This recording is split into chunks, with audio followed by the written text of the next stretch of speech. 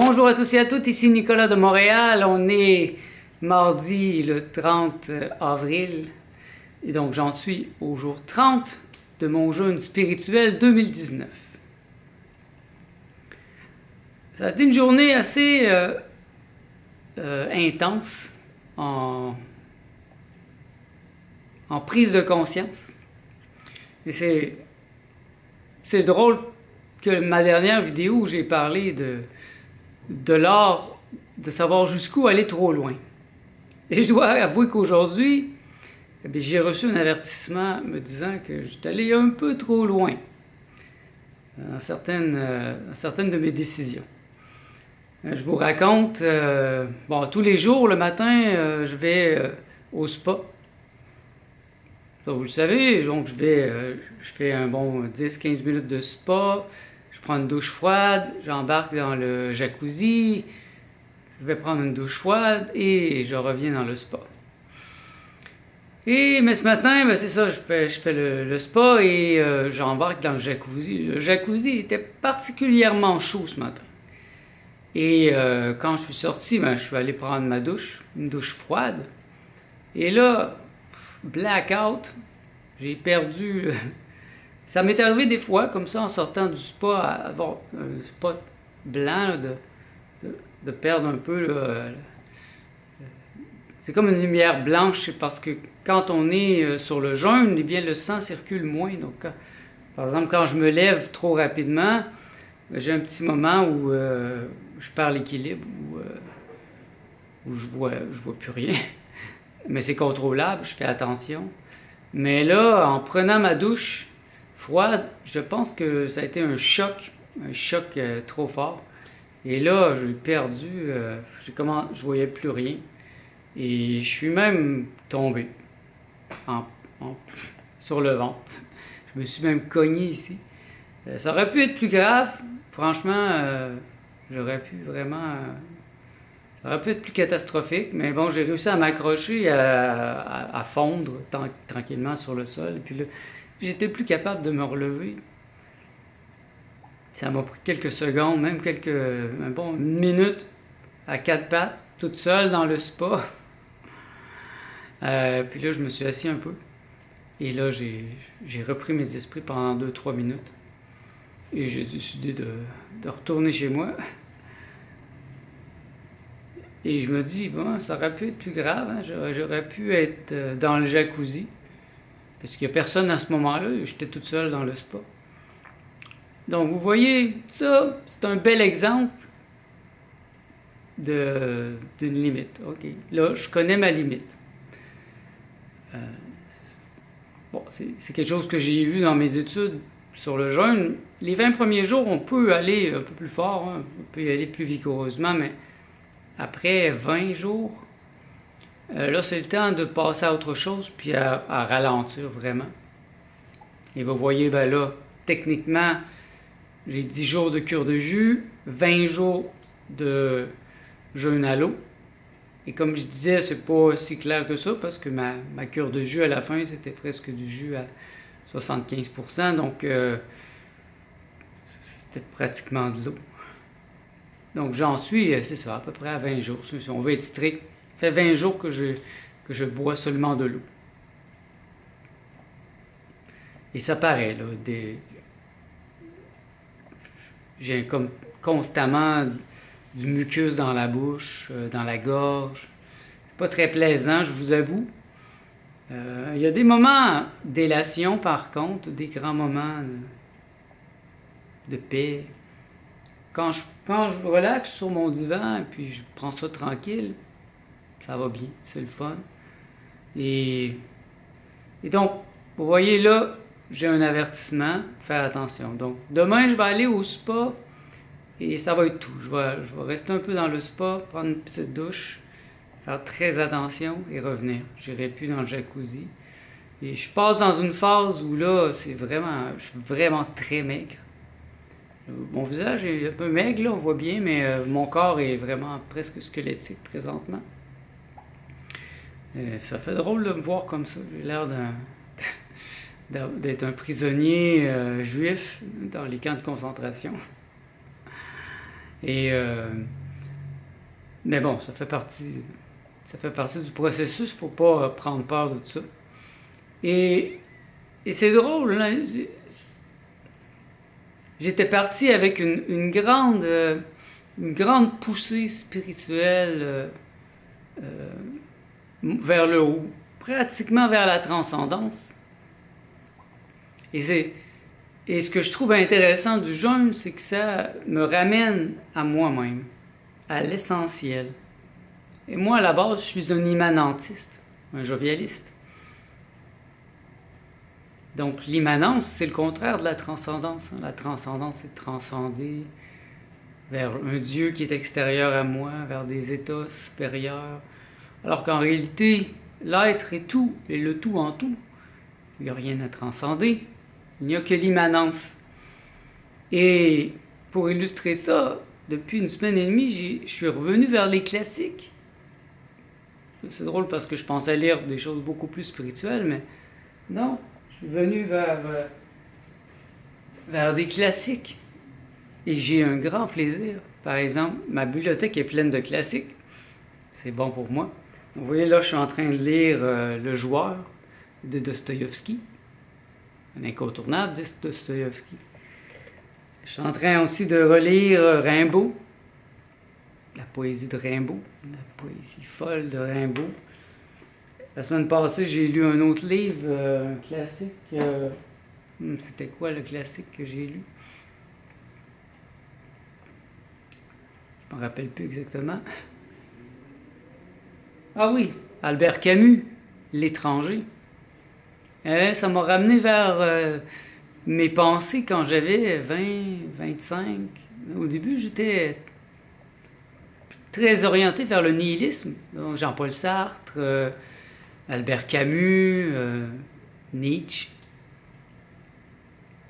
Donc, je choisis des romans euh, qui me ramènent à quelque chose de très réaliste. Le joueur de Dostoïevski, c'est extrêmement réaliste. Il n'y a pas de spiritualité là-dedans. Et ça me fait du bien. Je dois vous dire que c'est comme de l'eau fraîche. Et ça me surprend. Mais en même temps, c'est vrai, c'est logique. On ne peut pas s'élever constamment sans se donner des racines. Il ne faut jamais oublier les racines. Et donc, oui, si je veux monter, je dois aussi descendre. Et les racines de l'humanité, ben, c'est la culture.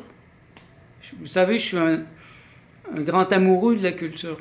Ma bibliothèque est remplie de culture et, je vais m'en donner à cœur joie dans les prochaines semaines à revenir vers les classiques, les Grecs anciens, les classiques de la littérature, et oublier un peu mes euh, considérations spirituelles, ma recherche, mes recherches dans l'astral, toutes ces choses-là. On dirait que pour l'instant, ça n'a aucun, aucun intérêt pour moi. Ce qui m'intéresse, c'est d'être ici présent, ici maintenant, dans mon être, d'habiter mon corps le plus possible. Et, et franchement, j'habite mon corps, je le sens plus que jamais. J'ai une grande sensibilité. Je, suis, je, me sens de plus en plus propre. Même si la majorité du temps, je me sens quand même inondé de toxines qui, sortent de mes gras et qui rentrent dans mon sang et puis qui sortent dans, dans mon urine. Il y a aussi une grande paix qui vient avec ça, parce que c'est une grande libération. Et je dois dire que le plus difficile présentement n'est pas l'aspect physique, bien que parfois c'est vrai que c'est difficile, mais c'est l'aspect mental. C'est là que mon combat est, réel. Je me bats comme des obsessions, ben, des obsessions de nourriture, bien sûr. Des fois, le soir, j'ai de la misère à m'endormir. Je pense à, ce que je vais manger quand je vais recommencer, comment je vais l'apprêter, telle sauce que je vais faire. Ça se prépare tout dans ma tête. C'est sûr que c'est de la torture faut que je fasse attention. Et, ça m'aide beaucoup de lire des classiques qui n'ont rien à voir avec la nourriture. Donc il y a cet aspect, bien sûr, euh, l'obsession de manger commence à apparaître. Et ça, c'est quelque chose que j'ai revu à chaque année, à chaque fois que je dépasse le 20 jours. à un moment donné, c'est extrêmement présent. Et ça vient même dans les rêves. La nourriture dans mes rêves. Bien sûr. Mais c'est pas mon corps. Mon corps n'a pas faim. Mon corps est, très faible. Mais mon corps me demande pas de la nourriture. Pas du tout. C'est mon mental. Vous voyez, le, le mental est le cheval fou dont on parle beaucoup de, beaucoup de maîtres dans la spiritualité. Hein. Fermer le mental, le, l'apprivoiser, parce que c'est le mental qui, brouille tout, qui rend, qui nous détruit en fait. Le mental avec les émotions qui sont liées à ça. Et des émotions, il m'en montre des fois, ouf, des fortes. Bien sûr, parce que dans mes graisses, dans ce qu'ils font présentement, avec les toxines qui sortent, il y a lié à ça des émotions. Hmm? Quand on n'est pas capable de gérer ces émotions, qu'est-ce qu'on fait? On les, on les met dans des petites poches un peu partout sur nous. Et là, par le processus que je suis en train de faire, ben, je dis, ben non, ouvrez-moi ça, ces poches-là. Je suis prêt, là. Je veux les voir, je veux les ressentir. J'étais pas capable il y a 20 ans, j'étais pas capable il y a 30 ans. J'étais pas capable il y a 35 ans. Maintenant, ben, j'ai la force, j'ai le courage, j'ai l'équilibre dans ma vie. Bring it on. Et puis, ben, c'est là le vrai défi présentement parce que j'entre dans une phase extrêmement profonde de, guérison. Avec des jours où ça va moins bien. Dimanche passé, j'avais mal partout, j'avais mal au dos. Hier, j'étais parfait, ça allait super bien, j'ai travaillé, ce matin, ben, j'ai eu un moment de faiblesse, mais c'est aussi, parce que je provoque les choses. Je, vais trop loin des fois, oui, je, dépasse ma limite. Mais, vous savez, la limite sert à s'y limiter. Et tant qu'on n'a pas dépassé nos limites, comment peut-on savoir? Si je ne connais pas la limite? J'ai toujours la question, euh, c'est quoi ma limite? là, je la sais, je la connais. J'ai vu hier, j'ai vu ce matin, c'est un grand danger. Euh, on avait plusieurs cocombes dans le frigidaire que Martha ne prend pas parce que finalement elle a arrêté sa cure de jus. Donc euh, j'ai décidé aujourd'hui et demain de, prendre un peu de jus de cocombre. Juste des cocombres. Afin de me redonner un peu d'énergie parce que franchement ma batterie était vraiment à terre aujourd'hui. Donc mon but est de pouvoir continuer d'avoir un peu plus de force. Donc, je vais, prendre un petit jus de, de cocombe que j'ai pris tantôt, que je vais prendre un peu tantôt. Je vais y aller très, très doucement. Et ça, je souhaite que ça va me, servir de pierre de touche pour repartir en force avec plus d'attention présentement. C'est important, je le vois, je ne peux plus faire les mêmes choses. Je ne peux plus me déplacer de la même manière j'ai plus la mobilité que j'avais. Et c'est le temps d'entrer dans un moment de, de plus grand repos. J'ai averti mes clients, j'ai mis un autorépondeur sur mon courriel, leur disant que dans deux semaines, je vais être en vacances. Donc, euh, j'ai cette semaine. La semaine prochaine, je vais encore travailler un peu. L'autre semaine, je prends la semaine complètement complète. Euh, je souhaite que mon jeûne soit terminé. En fait, je ne sais pas du tout quand il va terminer. Hein. J'ai mis un 40 jours, mais c'est juste une approximation parce que c'est mon corps qui va me le dire. Ça pourrait être en fin de semaine, ça pourrait être dans deux semaines. Mon corps va me dire, Nicolas, that's it. Recommence à, à manger. Donc, je vais probablement commencer par des jus d'orange, des jus de pamplemousse, et une autre sorte de jus que vu, dont j'ai vu la recette euh, sur des, une vidéo de Thierry Casanova. J'en parlerai plus quand ça sera le temps. C'est un jus qui est comme une soupe qui va m'aider à reprendre, euh, faire la reprise alimentaire en douceur. Chose est sûre cette année, c'est que je ne mangerai pas de nourriture dure, solide, parce que l'année passée, ça s'est mal passé, ça a fait trop mal. Cette année, j'y vais totalement en douceur avec des jus et je vais revenir doucement, reprendre l'alimentation. et puis, mon objectif, c'est que ça ne, fasse pas mal et, et, que ça devienne, que ce soit une œuvre d'art. Je pense que je l'ai déjà dit. Pour moi, c'est une œuvre d'art, ce que je suis en train de faire. Malgré l'incompréhension que je peux recevoir de la majorité des gens. ça n'a aucune importance parce que je vois, je vois l'œuvre. C'est une œuvre. Un peu comme euh, certaines de mes, mes, grandes toiles, vous avez peut-être vu des fois des mandalas en arrière de moi. Bien, c'est moi qui les ai fait, bien sûr, à la peinture acrylique. Et puis, je les ai vus dans ma tête avant de les, les peindre. Ils étaient très, très précis dans ma tête. Et l'œuvre était déjà là. Donc, quand je me mets au travail, c'est simplement un travail de manifestation. L'œuvre, elle est déjà là. Mon jeûne est déjà présent. Ça fait plusieurs mois que je m'entraîne. Vous, pouvez remonter jusqu'au mois de janvier. J'ai créé une liste de lecture qui s'appelle le, plan de nutrition spirituelle 2019. Eh bien, vous allez voir, c'est tout un plan. Après, après le jeûne, je vais revenir vers la phase 2 de la Green Live Food Cuisine, qui va être un peu plus euh, permissive,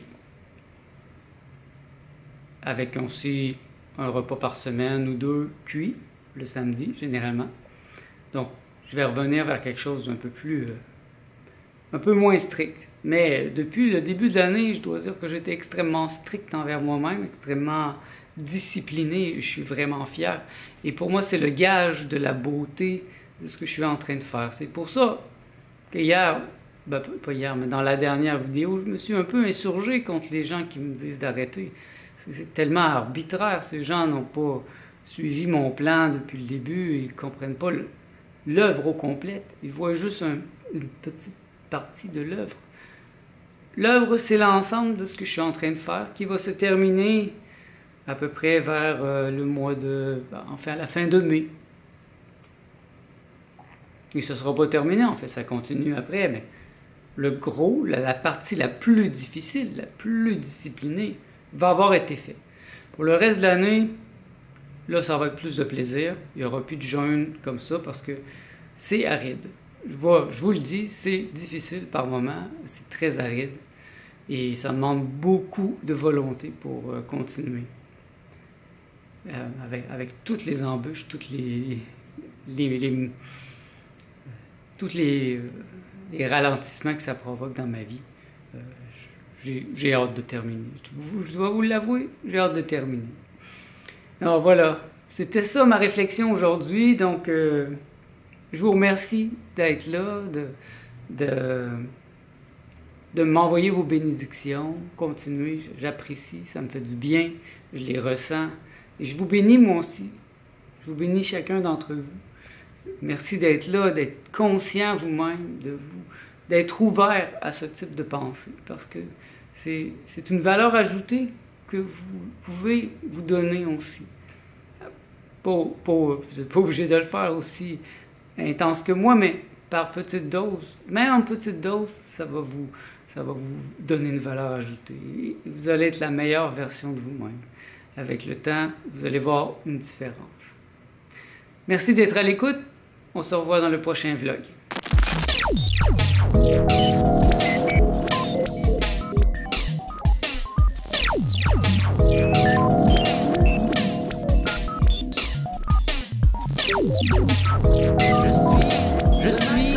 Le maître psychédélique. Ne pas,